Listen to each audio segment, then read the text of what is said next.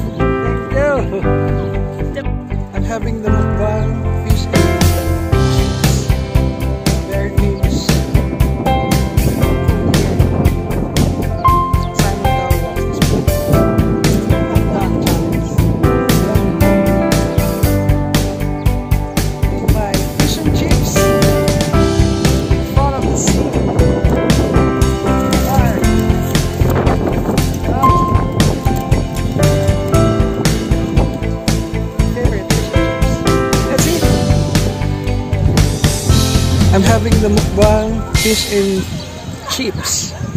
A very famous food here Simon Cowell loves this food. Mukbang challenge. Yummy, yummy.